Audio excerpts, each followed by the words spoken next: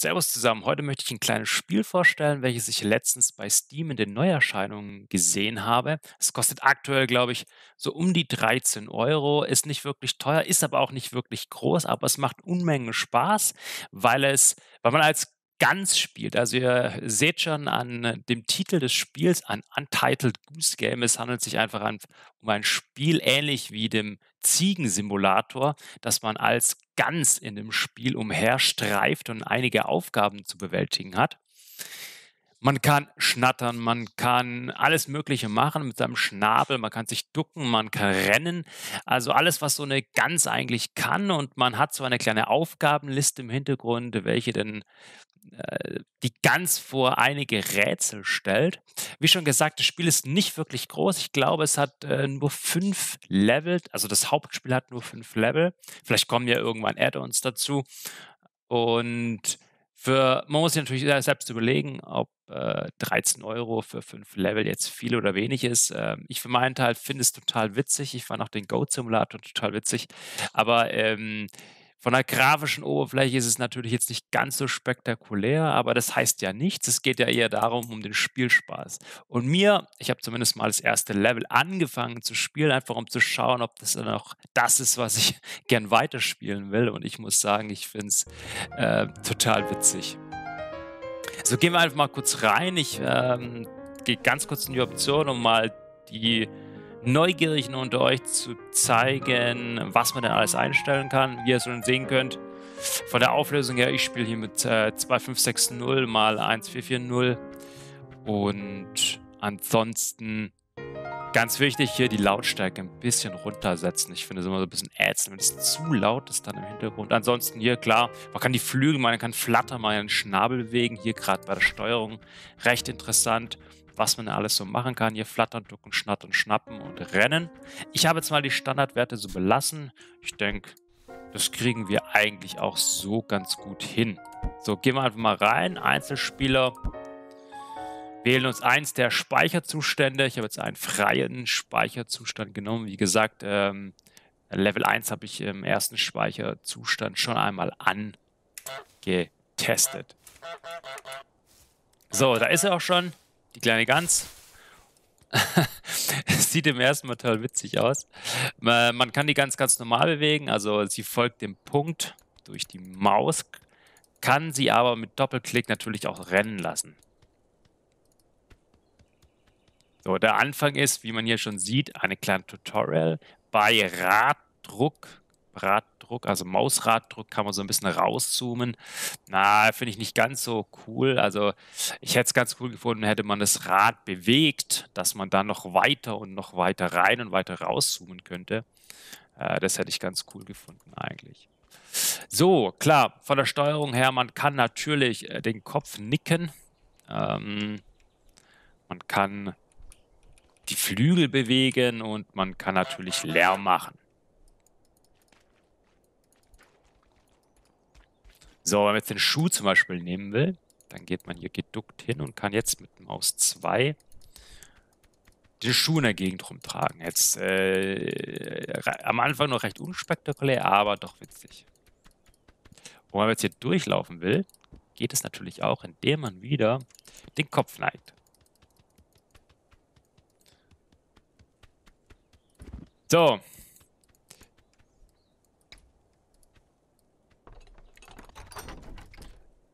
Tun wir das obere mal weg. Das hier weg. Und kommen jetzt eigentlich so ein bisschen in das Hauptspiel rein.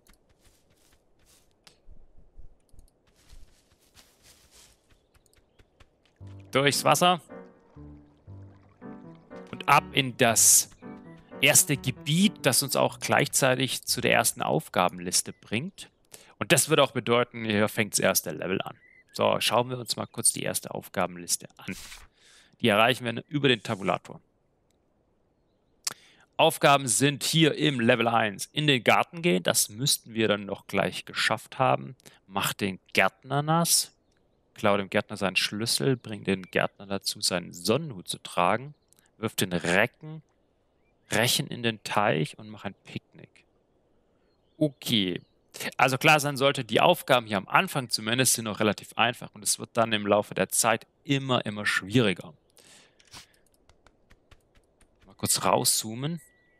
Hier ist zum Beispiel ein Garten von dem Gärtner.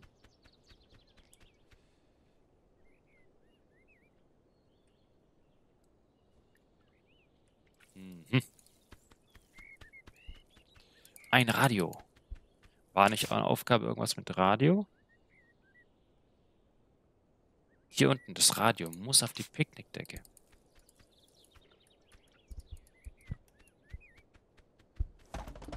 So, kommen wir an das Radio an? Ja, natürlich.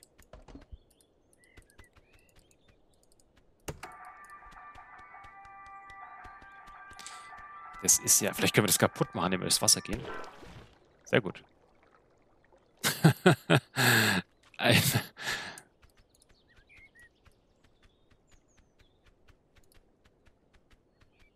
Eine Picknickdecke. Da legen wir das hin. Schauen wir kurz rein und sehen hier unten Radio.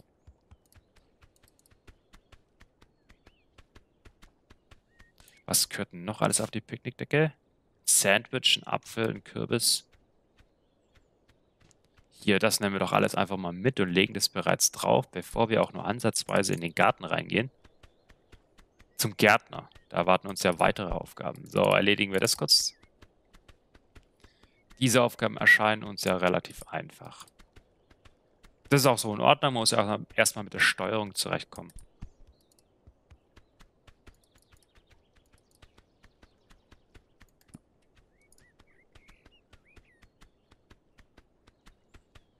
ich, ich bin irgendwie total begeistert. Ähm, irgendwie total unspektakulär so.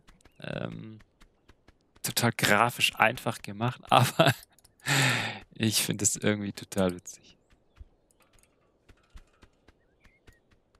So, in den Garten reinkommen. Ah.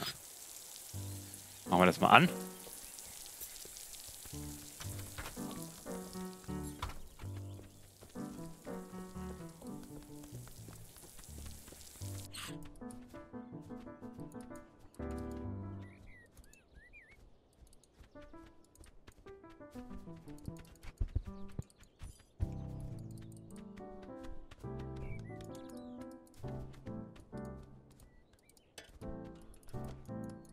Gehen wir einfach mal in den Garten rein. Einfach nur, damit das mal erledigt ist.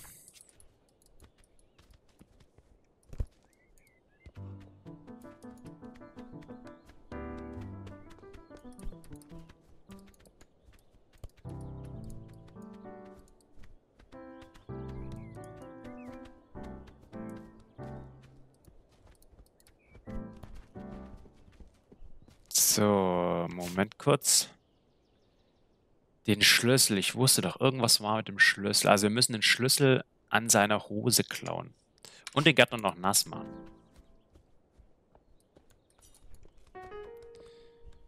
Irgendwie von hinten an ihn ran. Der bleibt halt nicht stehen, der Junge.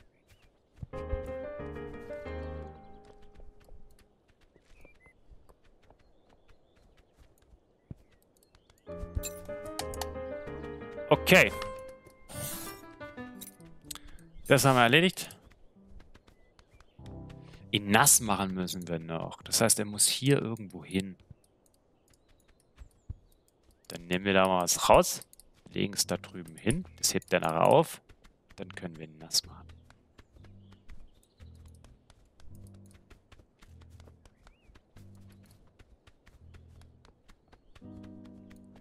So.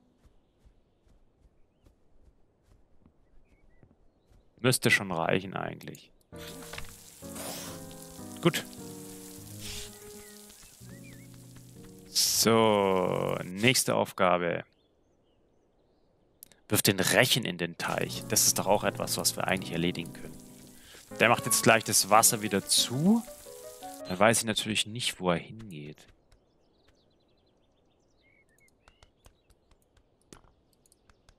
Brauchen wir die eigentlich? Thermoskanne brauchen wir. Ui.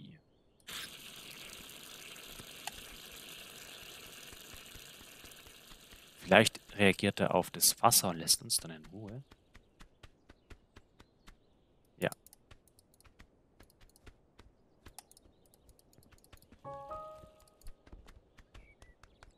Okay, er hat uns nicht bemerkt, das ist schon mal gut. Denn ansonsten würde er uns verfolgen und uns das Ding wieder wegnehmen. Wichtig ist noch, er darf nicht das Picknick, die Picknickdecke erfinden. Ansonsten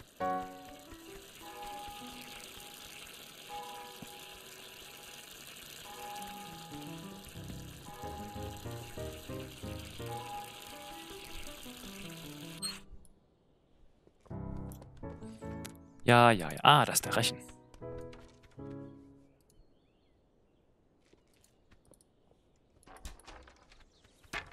Gehen mal hinten rum.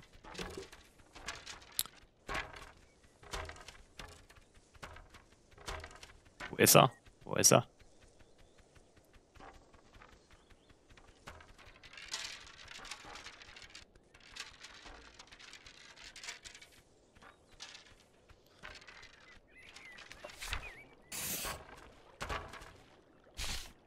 zieht ihm einfach da nach hinten. Einfach nur, weil wir es können. So. Bring den Gärtner dazu, seinen Sonnenhut zu tragen. Okay. Ich denke, das wird ein bisschen trickier.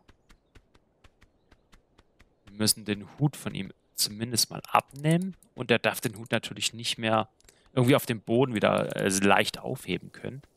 Denn ansonsten...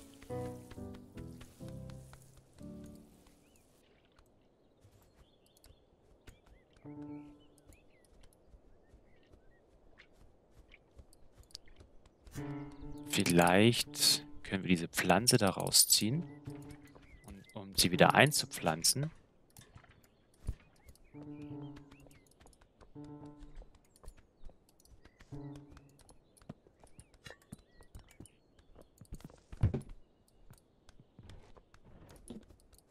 Ah, das brauchen wir noch.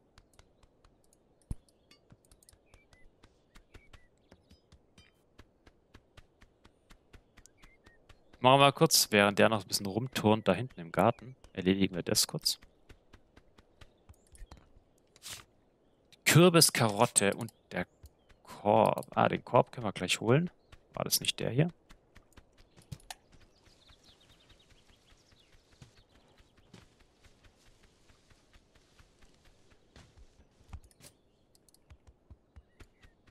So, Kürbis und Karotte noch.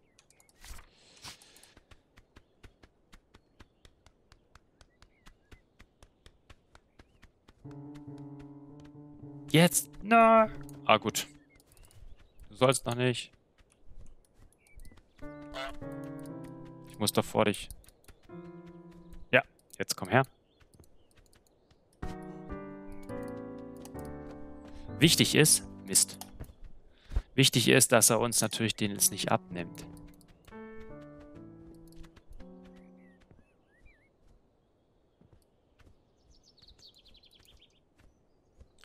Müssen den nämlich jetzt irgendwie...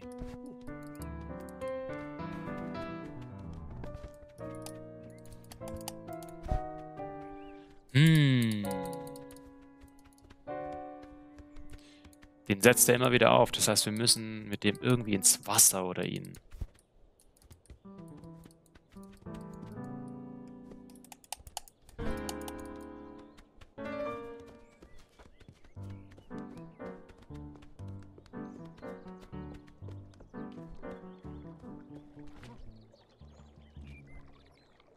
So. Der Hut wird jetzt richtig weit weggebracht, damit er gar keine Chance mehr hat an den auch ansatzweise ranzukommen. Dann wird er so verzweifelt sein, dass er den Sonnenhut nimmt.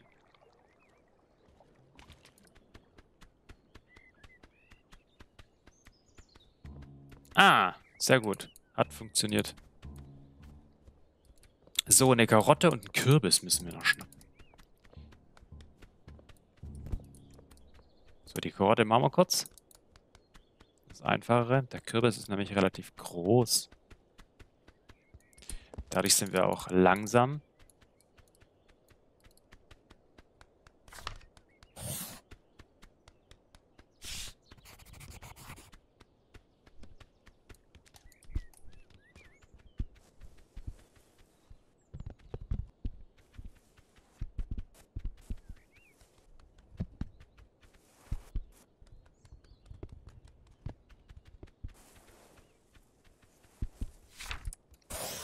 So, zweitens. Die Picknickdecke ist komplett mit Materialien voll. Das passt soweit auch. Jetzt den Gärtner dazu zu bringen, sich auf den Daumen zu schlagen. Mit dem Hammer. Ist aber eine Zusatzauf äh, Zusatzaufgabe, das heißt, es muss nicht unbedingt sein. Aber hier ist der Hammer, hier ist ein Schild.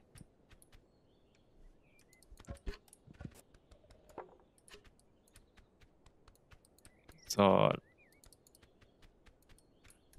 Das hat er aber noch nicht bemerkt. Das müssen wir jetzt so ein bisschen in seine Richtung ziehen, damit er das schnell merkt. Jetzt wird er es hoffentlich gleich versuchen, wieder aufzustellen und dann schlagen wir zu.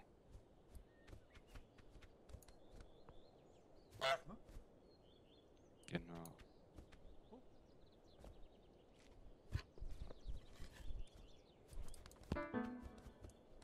Den richtigen Moment abwarten. Ja, ja, ja, ja, ich wollte dich nicht stören.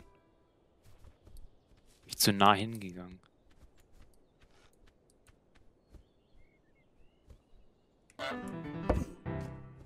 Haha.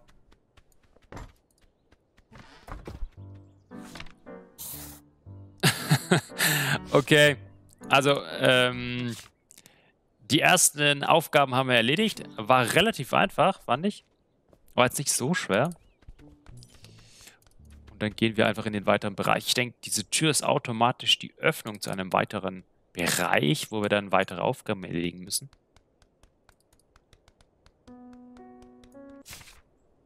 Jawohl. Also wenn äh, unter, unter, dem Tabulator die, das nächste Aufgabenblatt auftaucht, sind wir automatisch im weiteren Level. Gut, dann würde ich sagen, machen wir hier kurz eine Pause und starten dann gleich das Level 2.